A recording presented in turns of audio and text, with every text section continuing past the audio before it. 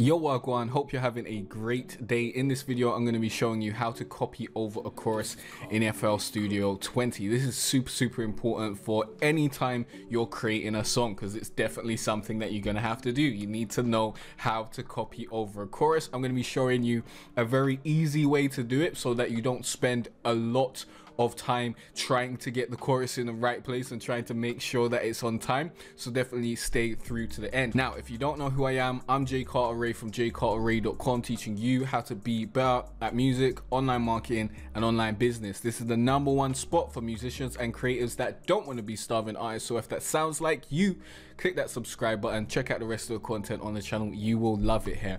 Now let's get straight into this. This is a single that I'm releasing this week. By the time this video is up, the single will be out. It's called Trust. Just go on Spotify, search Jay Cartere Trust, and you'll find it. All right. So first of all, you need to make sure you, you're at the right BPM in your project. If you're not at the right BPM, it's just going to make everything way harder. And before I play back these chorus vocals, I just want to let you know I had to turn off all the doubles so it's not going to sound as epic as it's going to sound in the actual full song. If you want to check out the full song, go to jaycartere.com forward slash Spotify or search Jay Cartere Trust on Spotify. But let's play this back so you can hear what the chorus sounds like. Obviously, the first chorus is going to be correct. It's always going to be correct and in the right place because that's where you record it. When you move it, that's where the problems start to happen. That's where you might have your chorus a little bit off time and you might be thinking, is that off time or is it off time? And in this, I'm going to be showing you how to make sure that it's completely on time and to get perfect every time. So let's play this back so you can hear what's going on and where everything's supposed to be. And then I'll show you how to actually copy it over. So there we go. Big funds on the road to riches. Made so many sacrifices, I was dead, bro. All I know is grind and scrap it on my headstone. Got hair on my own. Matte black throne. Sitting all alone. Ain't no one that I can trust.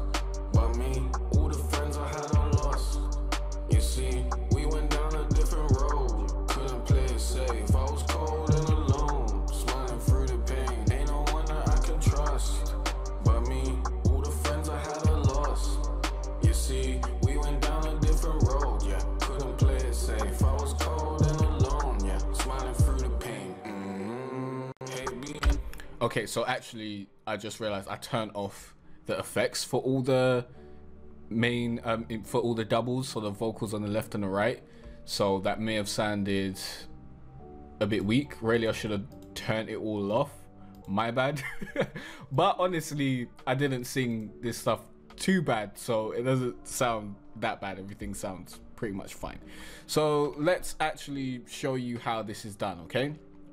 So let's get rid of this so we can kind of make more sense. Now first of all as i said you want to set the bpm correctly then you pretty much want to have all aspects of the chorus recording next to each other just so that it's easier to select and move over and you can do everything at once. Here i've broken this rule because we've got ad libs here and i'm not 100 percent sure what i think this is ad libs as well I'm not 100% sure. It looks like these are both ad-libs. I'm not sure which one's supposed to be on and which one's not. So I'm just going to allow it. Either way, generally you want to have all your chorus vocals next to each other just so it's easier to copy over, okay?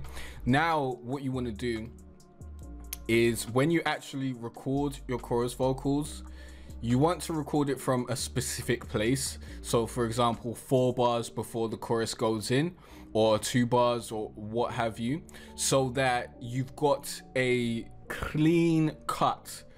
So as you can see, this starts four bars before the chorus goes in. So I've got one, two, three, four. And now I know if I copy this over, I want my other one to be starting four bars before the chorus is supposed to come in. And you can tell that by you know what the beat looks like. That's the first thing. You need to basically make sure that you have a clear cut start point to your chorus and if you don't have that, if you don't have your chorus coming in four bars or however many bars, and you just started recording and you recorded it, you know, straight on the chorus or whatever, and you're not able to bring it back this far back or anything, then another thing that you can do is you can either just add a an audio file basically. So i can add this audio file like let's say eight bars before the chorus and then i can use this audio file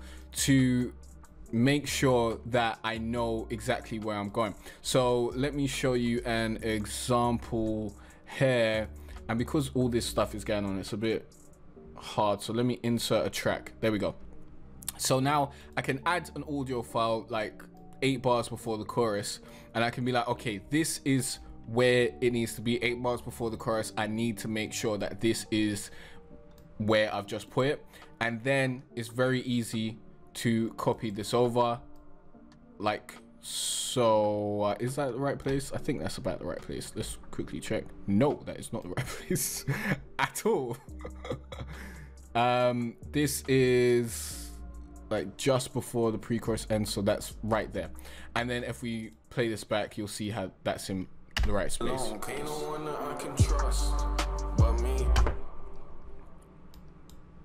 So that's how that works. And another thing you can do you don't have to use the the audio. You can actually just create a midi pattern if that's what you want to do. So you can just create a midi pattern and just draw that in and then you know make that longer so that it's exactly where you need it to be. And you can use that as your marker point to know where the chorus needs to be. Now if you have this on the wrong bpm this isn't going to work okay? Pretty much nothing is going to work if you go on the wrong bpm so make sure you're at the right bpm the next thing i want to show you is just go to your snap to grid and change it to bar. It just makes it way easier to move things over if it's on the bar. If it's not on the bar, it's going to be, you're going to have way more problems with actually moving stuff into place, okay? So this is four, this starts four bars before the first hit of the chorus, so at 41. So this is pretty easy for us to move over all we need to do is look at where it is, look at where it starts in relation to the beat. This is the chorus section of the beat. And then we can just hold down shift and right click or left click, I mean, and move it over like so. And then we have everything in the right place. So let's play this back. Go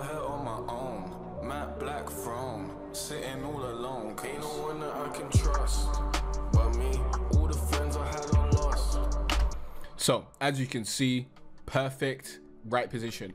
Now with all these other layers, obviously if everything was together, all you need to do is select it at once and then you just focus on the top one and move that over like I just showed you. But if you've got stuff moving around like how I've got it here, then all you need to do is use the exact same method as I showed you before. You can either use the pattern or the audio and just create a uh, a marker basically. Eight bars or four bars before the chorus starts. So as you can see this is right where the pre-chorus starts.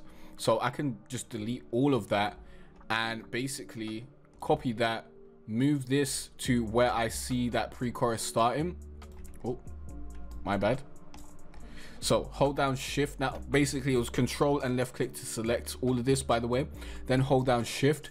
And now I just need to move that to where the pre-chorus starts. Give me a sec. I can't actually see it. So it's supposed to be right here. Move that right there.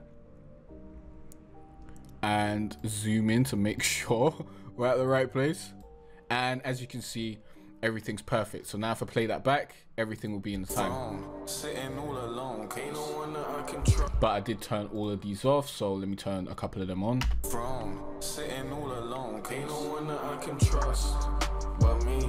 so that's how that works.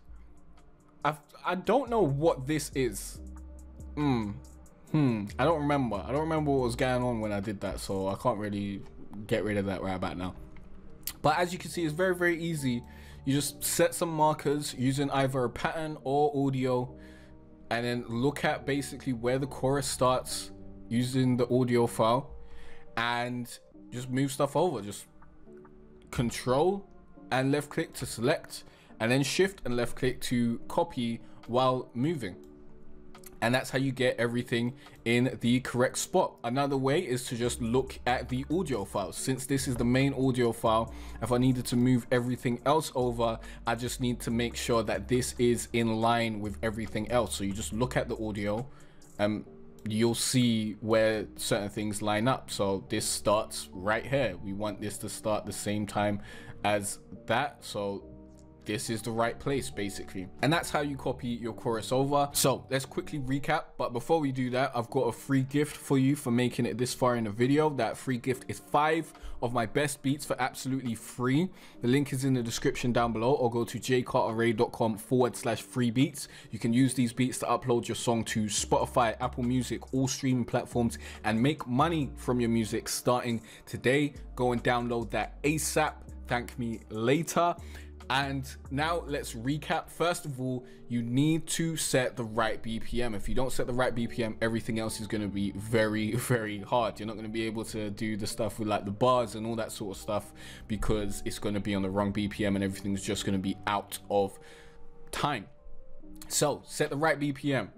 Then you want to create a marker for your chorus or start recording your chorus four bars before the chorus comes in or eight bars uh, eight bars is a bit much so i do four bars really because eight bars you're going to be wasting a lot of time doing that.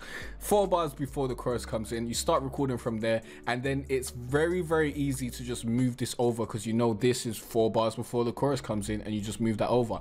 If you've got it in some weird place like this or maybe it's not set to bar and it's set to half beat or something and you just go at some random place it's going to be harder for you to easily copy stuff over. But of course if you do that you can just create a pattern and set that as your marker or you can use an audio file and set that as your marker. As I've shown you then you use control and left click to select the file and then shift and left click to move that file over into the correct space. And generally you want to use the audio file so you can see what's going on. So as you can see i can see that this is where the first hit of the chorus comes in. This is obviously the pre-chorus because everything's breaking down.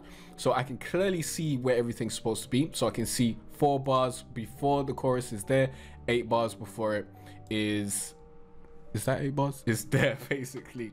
So it makes it very easy for me to move everything over and get everything into the right place. Now my question of the day is when are you releasing your next song it's about time, man. You gotta start putting music out. Let me know when you're releasing your next song in the comment section down below. I think that would be very, very interesting. And if you got any questions or any other tutorials that you want me to make, please let me know in the comment section down below. And I'll see you in the next video where you'll learn more about music, online business, and online marketing. Peace out. I'll see you there.